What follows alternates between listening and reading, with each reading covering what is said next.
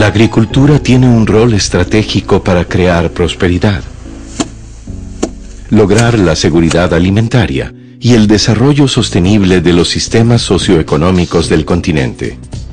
Millones de familias en las zonas rurales testimonian el enorme potencial de la agricultura como forma de vida.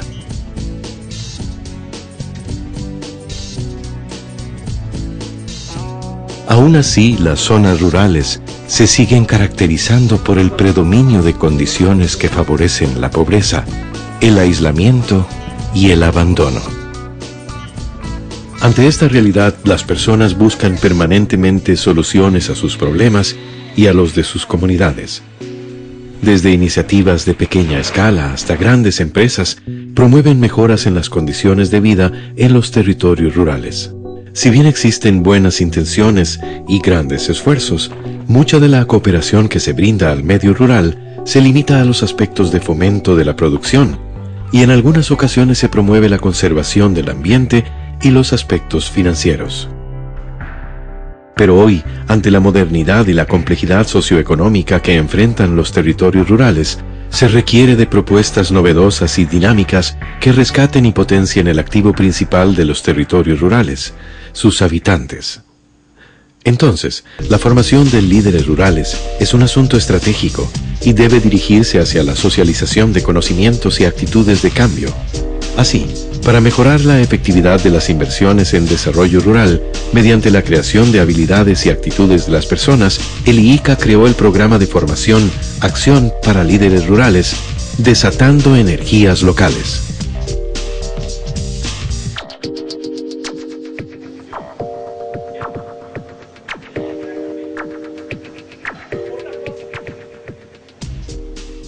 Este programa de formación es fruto del proyecto IICA Holanda Laderas, ejecutado por el IICA en Honduras y El Salvador durante el periodo 1995-2002. Con esta experiencia se logró la creación de organizaciones de base que impulsaron procesos de cambio social y económico al mismo tiempo que conservaron sus recursos naturales. Los logros que obtuve a través del proyecto IICA Holanda Laderas fue el, cambio de actitud, la actitud que tuve hacia mi comunidad. Siempre puse el ICA como la parte fundamental en mi formación profesional y personal, donde pude hablar con mucha garantía de las bondades que el proyecto nos enseñó y que nos formó. El proyecto nos enseñó a despegar. Marcó realmente la, mi vida, ¿verdad? Tuve un cambio radical. Y ya con el proyecto pues eh, me siento pues liberado de participar en, varios proyectos. Como mujer me siento, me siento eh, realizada, vamos a decir, porque eh, ahí también aprendimos lo que es la equidad de género. Que toda la experiencia que logramos ganar en los procesos de capacitación, hemos de algún modo implementándola no solo en la parte del aula, sino en los proyectos productivos. Puedo decirle de dos años acá, más bien. Eh, He construido con diferentes comunidades 11 proyectos de electrificación, eh, dos con la Embajada de Japón y el resto, ¿verdad?, a través de fondos de Corea y Japón con la ENE. Ojalá que, que en estos países, pues, los gobiernos, pues, eh, eh, pues se dedicaran a invertir en lo que es la formación humana, porque eso es lo más importante, porque si nosotros no, no, no tenemos ese cambio, pues muy difícil, ¿verdad? Vamos a salir avante con, en esos países que están en vías de desarrollo. El programa desarrolla y fortalece las capacidades organizativas, técnicas y políticas de la sociedad, de las comunidades y de las personas, para que sean protagonistas de su desarrollo y de la solución de los problemas que les afectan. Busca fortalecer capacidades locales para actuar colectivamente, partiendo del reconocimiento de que todos los seres humanos tienen potencial para el cambio. Esta es una herramienta complementaria a los instrumentos tradicionales, creada con la expectativa de que refuerce los procesos de desarrollo rural y mejore sus posibilidades de éxito.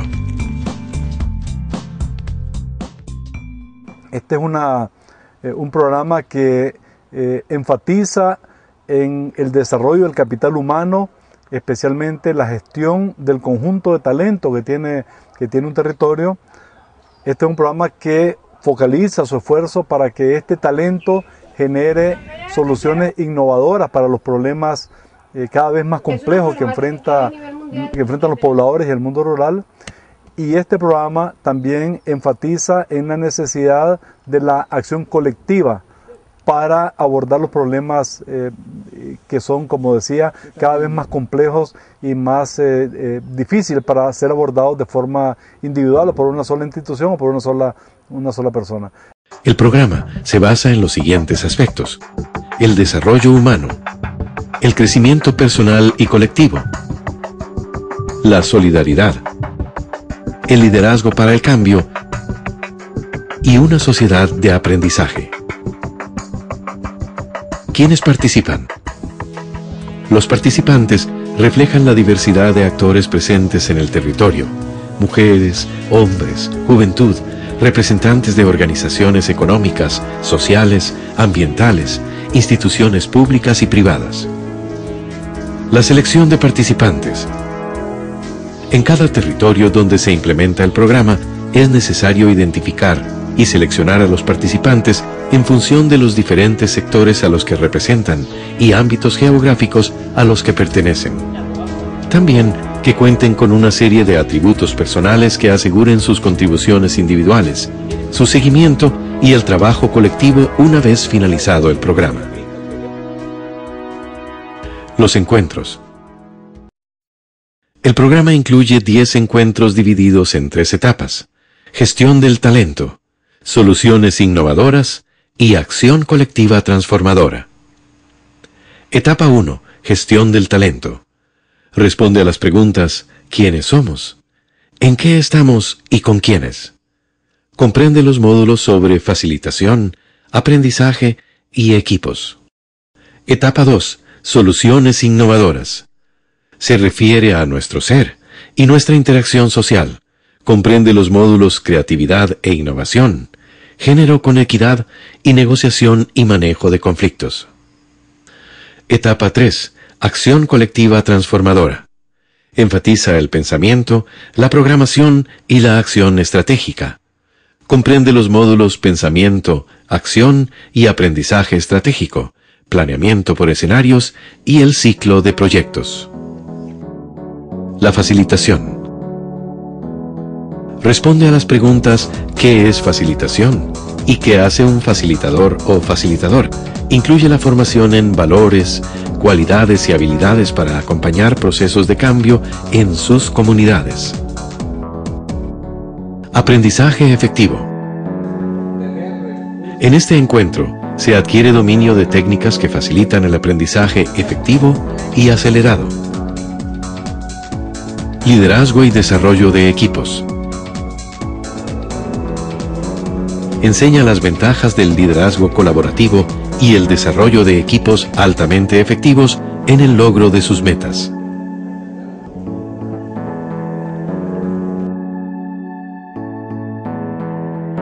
Creatividad e innovación. Facilita el dominio de métodos y técnicas que potencian la capacidad de generar y poner en práctica soluciones innovadoras a los problemas de las comunidades rurales.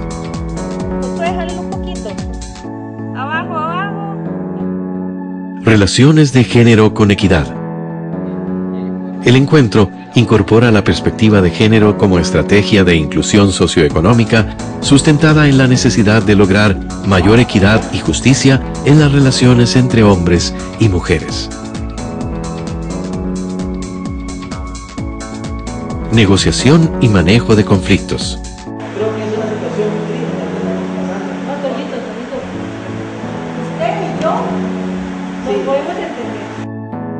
Enseña conceptos y herramientas para el adecuado manejo de conflictos y el logro de soluciones negociadas.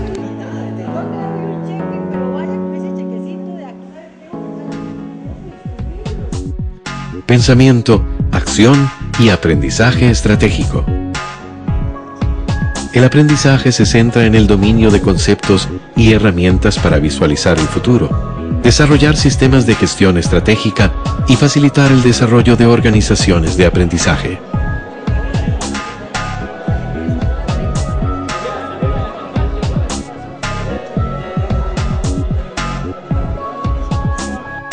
Planificación con escenarios.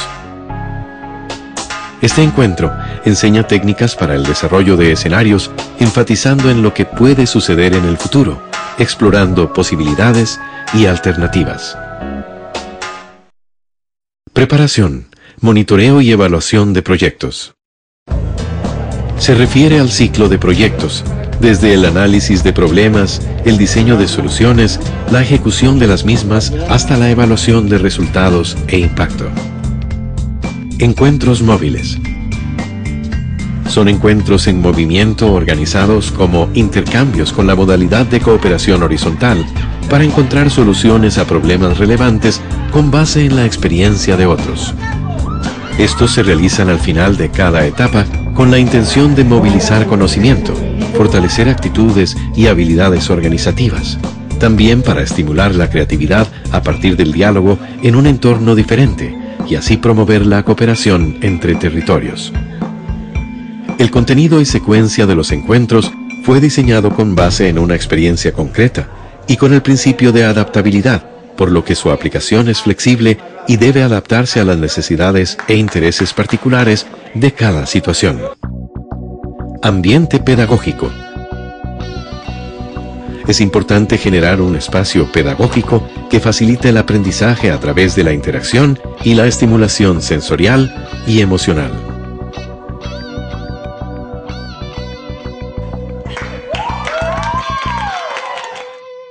El ciclo de los encuentros.